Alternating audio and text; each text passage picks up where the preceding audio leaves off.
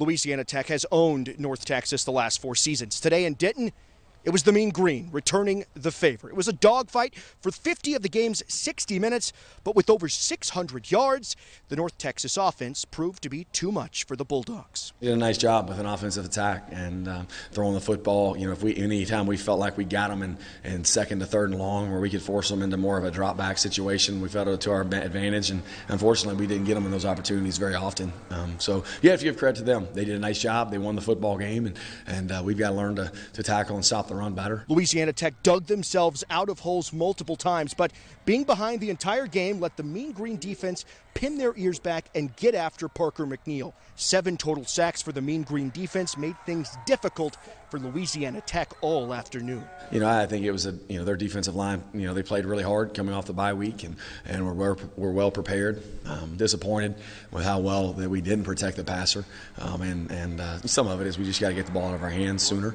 and and we'll continue to assess that and to see where we can make strides in that area. But um, they're they're they're a good defensive front, and they're coached really well.